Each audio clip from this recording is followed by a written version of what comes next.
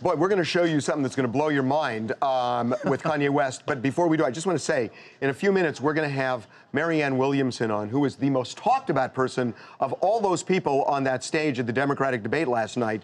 Um, and there's a reason she was talked about. And it was a, I think, kind of a transformative evening on many levels. Not we'll get just there. not just in the debate, but maybe for the country. I think. we'll get to that. So we're gonna get to that. Speaking of transformations, uh, Kanye West. By the way, has. that was very good. That was very good. Wow, did I just get a compliment Well, from him? that was good. I mean, All right, when you we're gonna end the show. I got a compliment. uh, Kanye West is out to transform, uh, perhaps, the way you live in the future, uh, the way millions of people could live in the future. He has been secretly working on concepts for uh, for housing. So we And got we got, we these, got these photos. We got these photos. And This is out in Calabasas on land he purchased. and he he has 300 acres, and we knew over a year ago that he wanted to build a housing development of sorts there. And we, we thought to ourselves, why does Kanye want to build a housing development? It seems like why does he want to get into the real estate business? Well, that's why. This is not. This is not just building a bunch of condos. He's not building a subdivision out in uh, these Calabasas. these are prototypes of what he believes can be the way people should live in the future. And and and his word is right. It's transformative. He's done his homework on this too. He has a whole team working on this, and he's worked with a team of architects. Uh, they've studied architect from all around the world from the beginning of time as well. They've been looking at different structures and different ways people lived. And what they'd like to do is kind of bridge the gap between the rich and the poor and find housing that everyone can use. Now, so the idea here is, I suppose, it's kind of ultimately one size fits all, where you take these domes and these become homes. Um, homes, um, I, interestingly, without windows, and that to me says these are, they're going to be stacked one next to another, next to another. But if you notice at the top, there's light that comes through. You Right. can see up. And, you know, it's Star Warsy on a level. It does look like something you've seen on a Star Wars set. which we had heard about before, right? About a month or, month or so ago, we had heard that there were going to be that he was interested in this sort of Star Wars type design. So really, actually seeing it verifies, you know, the information that we had already been hearing about. And, and you know, you wonder, well, why is Kanye West getting into this business? I, I- I will tell you this that Kanye West is a really uh, an innovative architect. He doesn't have a license as an architect, but Kanye West has done this. He's done this on his own personal space at his home, where he's built it completely kind of reimagining what a home should look like.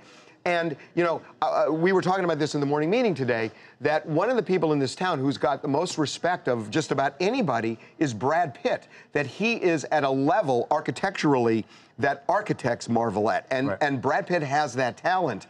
Kanye has a lot of that talent. But, but uh, the point of, I mean, I, I'm, I'm imagining here that is the overall point here is It's he wants affordable to create affordable housing Yeah. Yeah. for, right, this is not about, Well, I mean, you want to do it in the most efficient way, and that's what the architecture comes in. Right. So, like, it, it, it, um, I, I'd heard about some things like this that he was doing a while back.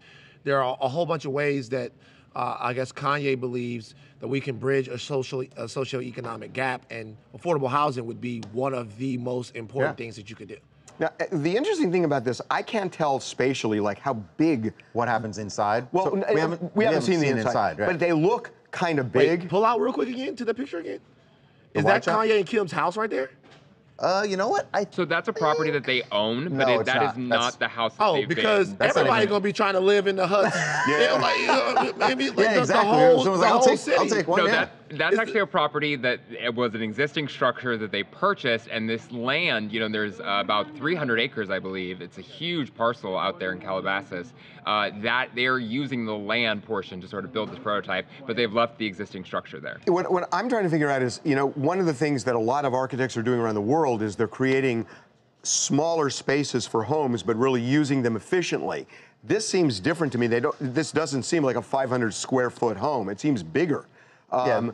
But still, what he you wants just to can't tell what's inside. You But yeah, can't it tell, does, but you- does you- look like it's bigger than 500 square. You see what I mean? I mean, it, it it does. I, I- it's hard to tell spatially, Right. but it looks bigger. But the idea is kind of, you know, just eliminating the, like Van said, the class structure. Yeah. And you know, and creating this. Um, i i i I think there's still a class structure, but it allows people who are who can't get affordable housing now. We don't know what this something that costs. And that's the other thing. We don't know what this costs. And maybe the idea may is not you mass, know at this well, but maybe it, the idea is you mass produce this to where it, everything becomes Right. so much cheaper. Yeah.